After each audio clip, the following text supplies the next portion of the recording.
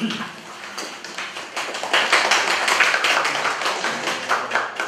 мына олжас сүлеймен поэзиясы деп жатыр ғой негізінде олжас сүлейменовтің шығармашылығы деп алған дұрыс қой деймін өйткені поэзиясы туралы айтылатын әңгімелер негізінде белгілі бұл кісінің көркемдік деңгейі ақындық өресі көркемдік эстетикалық мынау талаптарды игеру деңгейі оның бәрі мойындалған айтылып жүрген нәрсе? Мен өз сөзімде бұл кісінің бір зерттеушілігіне тоқтала кетсем деп отыр қазіргі жастар кейде біледі кейде білмейді. Сонау ертеде мың тоғыз жүз жетпіс бесінші жылы олжекеңнің азия деген кітабы жарық көрді.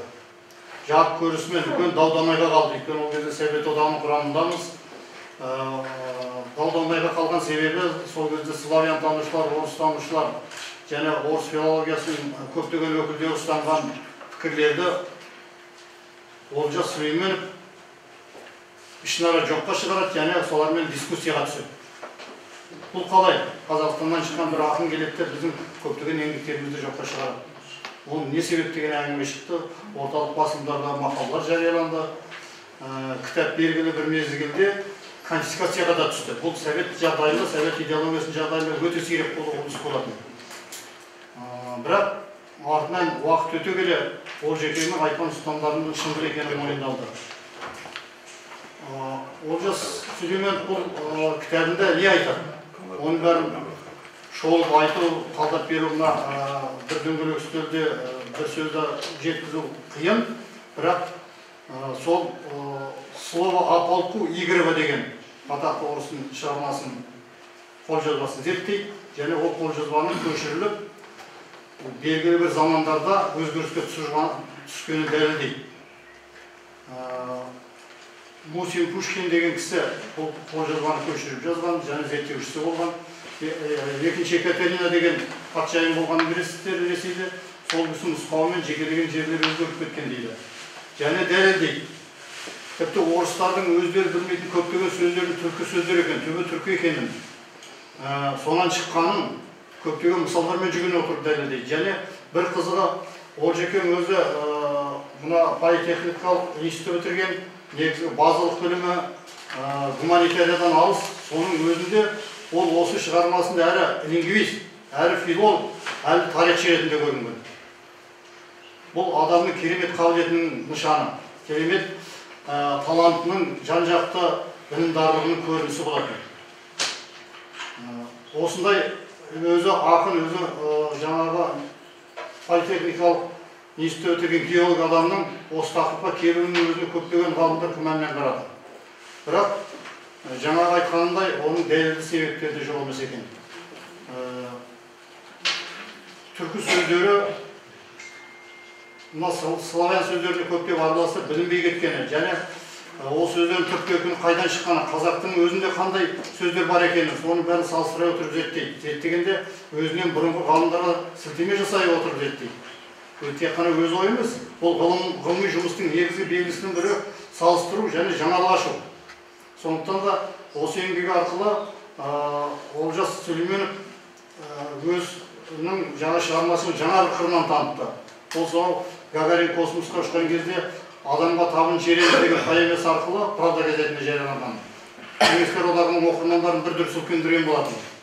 Одан кейін поэзиялық шығармалар арқылы назар аударған енді мына зерттеушілігі арқылы ол тек қана өзінің шығармашылығын ғана көрсетіп қойған жоқ бүкіл қазақ халқының мүддесін қорғады руханият мүддесін қорғады. Рухани жағынан қазақ халқының басқа түркі халықтардың ішінде алатын орны және оның ерекшелігі туралы әңгіме айтты. Ғылыми негізді айтты.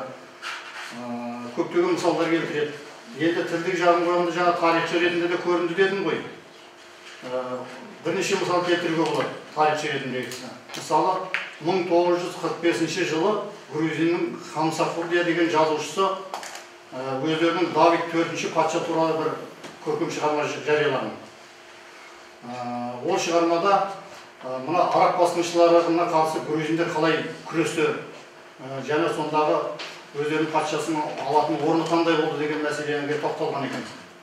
Осы кітапты алады да олжекең бұл кітаптағы айтылған оқиғалардың жаңсақ кеткенін кейбіреуінің қолдан жасалғанын нақты фактілермен дәлелдейді сөйтсе сол араб басқыншыларынан грузияны азат ету соғысында алпыс мыңдай әскер қатысты сол алпыс мыңның дейді қырық бес мыңы осетиндер мен қыпшақтар болды дейді. Башқұрт өкілдері армяндар болды дейді грузиндер санаулы ғана болған дейді және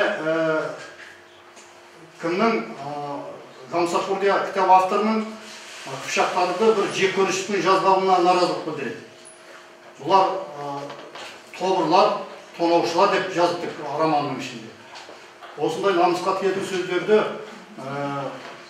кеңес одағының халқы оқып жатқандықтан олжекең патриот олжекең және ғылымды жақсы білетін олжекең қарап отыра алмаған осы кітапты талдап оның түкке тұрмайтын нәрсе екенін айтып жоққа шығарды әрине бұған наразы болатындар көп әсіресе кавказдықтардың ұлтшыл екенін білесіздер олар да олжекеңді жақтырмай қалды не болмаса біздің мына ұлттық санамызда қазақтардың руханият әлемінде біз қазақтар мәдениетті басқадан үйреніп жатырмыз деген бір ұғым бар сол ұғым осы күнге дейін келе жатыр ол филолог қауымдардың арасында да кездеседі мысалы біздің институтта баяғыда бір кісілер осы фольклордан қорғап қазақтың ертегілерінің сюжеттерінің көп бөлігі парсылардан арабтардан моңғолдардан сібір халықтарынан енді деп дәлелдеп пікір айтты негізінде олай емес екен неге басқа халықтар қазақтан үйренбейді. Қазақ қана үйрене беруге тиіс пе?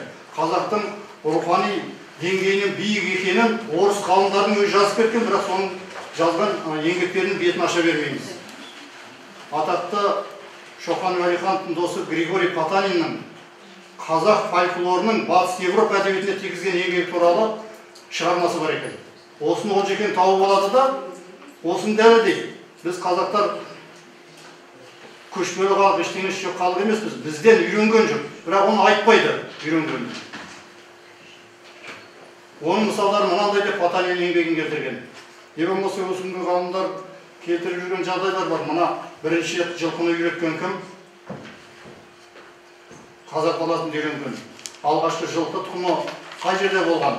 Оған ана ботай қорығы ботай ауылы деген солтүстік қазақстандағы жерде басқа европа ғалымдары да соны мойындап отыр жылқыларды үйренгенін бірінші иықты киімді шалбарды ойлап тапқан осы көшпелілер деген тұжырымға дүниежүзінің ғалымдары қазір бір ауыздан келісе бастады. Міне осындай мәселелерді көтере отырып олжас сүлейменов ол небәрі қырыққа жаңа ілінген кезі көптеген ұлттық мәселелерді ғана емес адамзат руханияға қатысты руханиятына қатысты жағдайларды да көтереді. Және ол сонымен шектеліп қалмайды. Азия деген кітабының ішінде шумерлерге қатысты жаңағы шумердің әріптері. Қалай пайдаланылады сына әріптер дейді руникалық әріптер дейді. Балшыққа жазылған шумерлерді білесіздер.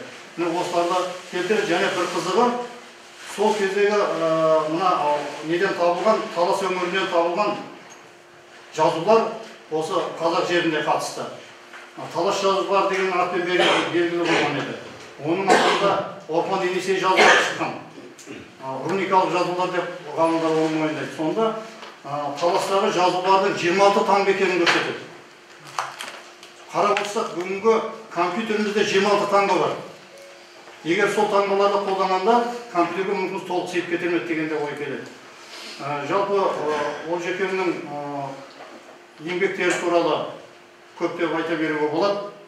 Ә, мен мына жас ұрпаққа кейбір мәселелерді білсін бәлкім ары қарай қызып оқитын ә, түлектер ынталы жастар табылар болашақ магистранттар мен докторанттарымыз табылар деген оймен осы ә, мәліметтерді қаперлеріңізге салып тұрмын.